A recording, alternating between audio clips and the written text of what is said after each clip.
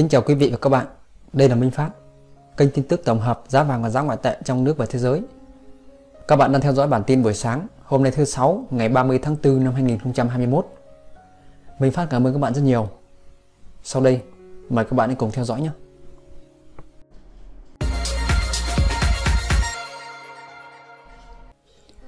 Các bạn thân mến, hiện tại vàng đang khá chật vật trong việc tìm động lực để đẩy giá trở lại ngưỡng 1.800 đô la Mỹ một ao. Giá vàng ngày hôm qua đã bật tăng sau cuộc họp chính sách của Fed và đồng đô la Mỹ suy giảm. Tuy nhiên, đà tăng đã không duy trì được bao lâu và đảo chiều giảm ngay sau đó.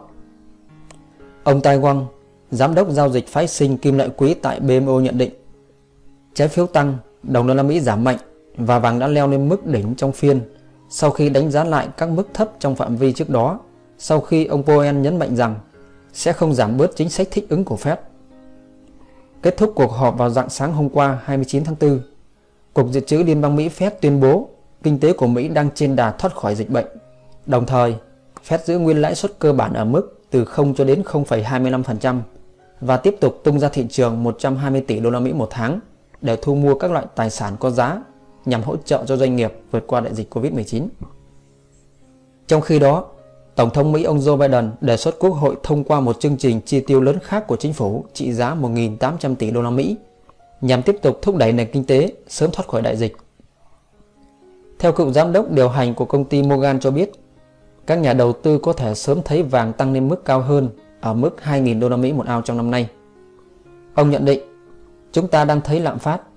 Nếu bạn nhìn khắp thế giới, bạn sẽ thấy giá bất động sản, vật tư xây dựng và dịch vụ tăng vọt Bên cạnh đó, thế giới đang ngồi trên một vách đá kinh tế. Điều này đã khiến cho các loại tài sản như là vàng, bạc và đồng Bitcoin trở nên rất phổ biến với các nhà đầu tư. Do đó, thị trường sẽ chứng kiến một bước chuyển lớn thực sự của vàng. Kim loại quý đang ở một vị trí thực sự tốt để tăng giá cao hơn. Trên thực tế, mức 2.000 đô la Mỹ một ao có thể sẽ xảy ra. Ở tại thị trường trong nước, giá vàng được các cửa hàng kinh doanh cập nhật tăng giảm liên tục theo xu hướng biến động của giá vàng thế giới. Tuy nhiên, trong khi giá vàng thế giới chật vật tìm động lực để vượt qua ngưỡng 1.800 đô la Mỹ một ao, thì giá vàng trong nước cũng chỉ quanh ở mức là 55 triệu 600 nghìn đồng lượng. Theo đó, vào dạng sáng nay, công ty vàng bạc đá quý Sài Gòn niêm yết giá vàng SJC ở chiều mua và chiều bán ở mức 55 triệu 300 nghìn đồng lượng và 55 triệu 650 nghìn đồng lượng. Tập đoàn vàng bạc đá quý Doji tại Hà Nội niêm yết giá vàng SJC ở mức 55 triệu 220 nghìn đồng lượng và 55 triệu 600 nghìn đồng lượng cả chiều mua chiều bán. Còn tại Mi Hồng SJC cũng niêm yết giá vàng ở mức 55 triệu 480 nghìn đồng lượng ở chiều mua và 55 triệu 700 nghìn đồng lượng chiều bán. Hiện tại, giá trần giữa chiều mua và chiều bán của vàng miếng SJC ở mức 55 triệu 300 nghìn đồng lượng và 55 triệu 670 nghìn đồng lượng. Sau đây là bảng niêm yết giá vàng trong nước. Mời các bạn hãy cùng theo dõi nhé.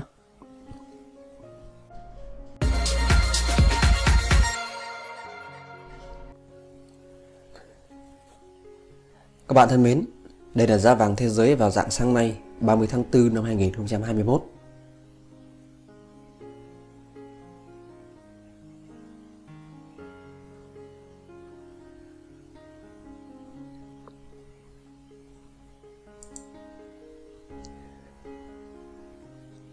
Và đây là chỉ số đô la Mỹ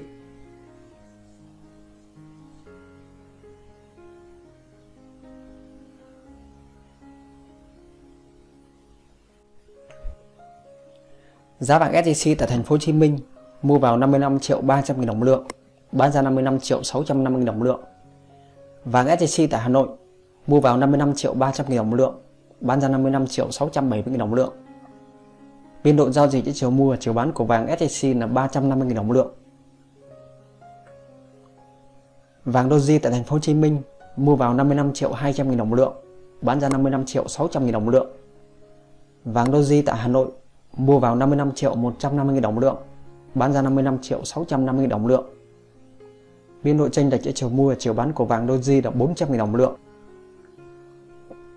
Vàng PNG tại thành phố Hồ Chí Minh mua vào 55 triệu 200 000 đồng lượng, bán ra 55 triệu 600 000 đồng lượng. Vàng PNG tại Hà Nội mua vào 55 triệu 200 000 đồng lượng, bán ra 55 triệu 600 000 đồng lượng. Biên độ giao dịch giữa chiều mua và chiều bán của vàng PNG là 400.000 đồng lượng.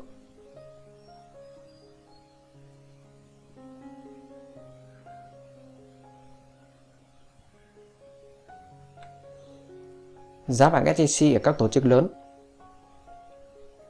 Tại Mi Hồng SJC mua vào 55 triệu 480 nghìn đồng lượng, bán ra 55 triệu 700 nghìn đồng lượng. Vàng phú quý SJC mua vào 55 triệu 270 nghìn đồng lượng, bán ra 55 triệu 600 nghìn đồng lượng.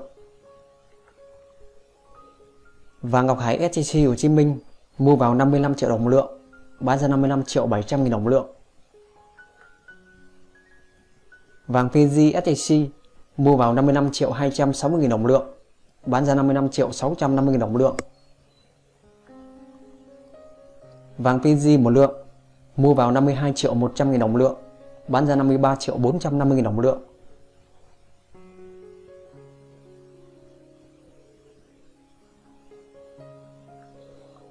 Giá vàng SJC tại một số ngân hàng Tại ngân hàng Eximbank mua vào 55 triệu 320 nghìn đồng lượng, bán ra 55 triệu 520 nghìn đồng lượng. Tại ngân hàng ACB, mua vào 55 triệu 300 nghìn đồng lượng, bán ra 55 triệu 550 nghìn đồng lượng. Tại ngân hàng TP Bank Gold, mua vào 55 triệu 150 nghìn đồng lượng, bán ra 55 triệu 650 nghìn đồng lượng. Tại ngân hàng Vietinbank Gold, mua vào 55 triệu 250 nghìn đồng lượng, bán ra 55 triệu 650 đồng lượng. Tại ngân hàng SCB, mua vào 55 triệu 250 đồng lượng, bán ra 55 triệu 500 đồng lượng.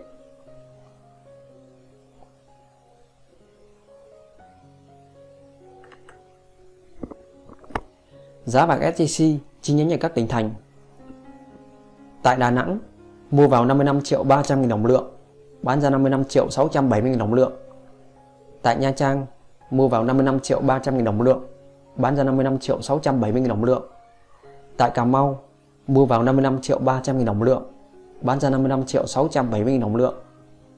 Tại Bình Phước, mua vào 55 triệu 280 nghìn đồng một lượng, bán ra 55 triệu 670 nghìn đồng một lượng. Tại Huế, mua vào 55 triệu 270 nghìn đồng một lượng, bán ra 55 triệu 680 nghìn đồng một lượng. Tại Biên Hòa, mua vào 55 triệu 300 nghìn đồng một lượng, bán ra 55 triệu 650 nghìn đồng lượng. Tại miền Tây, mua vào 55 triệu 300 nghìn đồng lượng, bán ra 55 triệu 650 nghìn đồng lượng. Tại Quảng Ngãi, mua vào 55 triệu 300 nghìn đồng lượng, bán ra 55 triệu 650 nghìn đồng lượng. Tại Quy Nhơn, mua vào 55 triệu 280 nghìn đồng lượng, bán ra 55 triệu 670 nghìn đồng lượng. Tại Long Xuyên, mua vào 55 triệu 320 nghìn đồng lượng, bán ra 55 triệu 700 nghìn đồng lượng.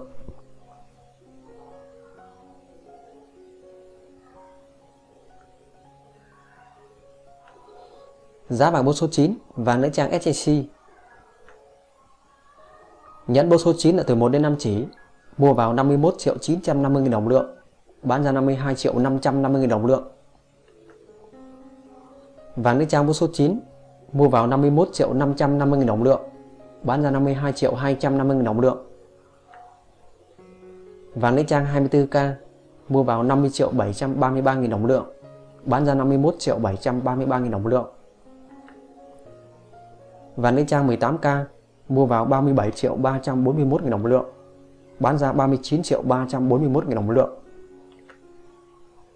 Vàng lên trang 14K mua vào 28 triệu 615 nghìn đồng lượng, bán ra 30 triệu 615 nghìn đồng lượng. Vàng lên trang loại 10K mua vào 19 triệu 940 nghìn đồng lượng, bán ra 21 triệu 940 nghìn đồng lượng.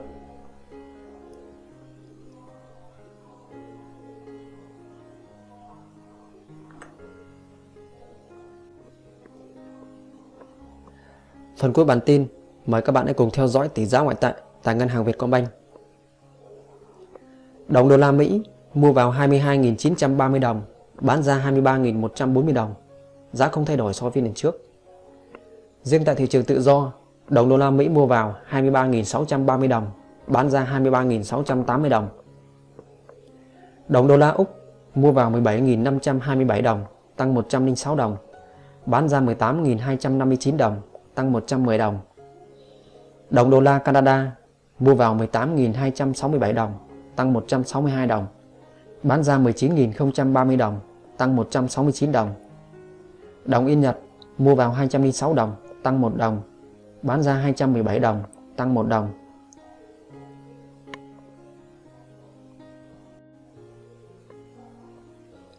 Đồng euro mua vào 27.121 đồng, tăng 121 đồng, bán ra 28.538 đồng, tăng 127 đồng.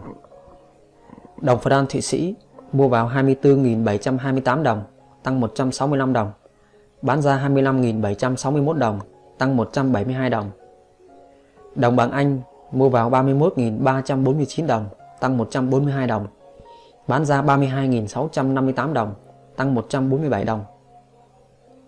Đồng nhân dân tệ mua vào 3.487 đồng, tăng 3 đồng, bán ra 3.633 đồng, tăng 3 đồng. Đồng đô la Singapore mua vào 16.968 đồng, tăng 31 đồng, bán ra 17.677 đồng, tăng 32 đồng.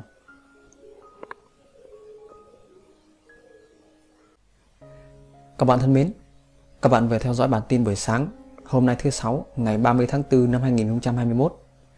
Minh Phát cảm ơn các bạn rất nhiều.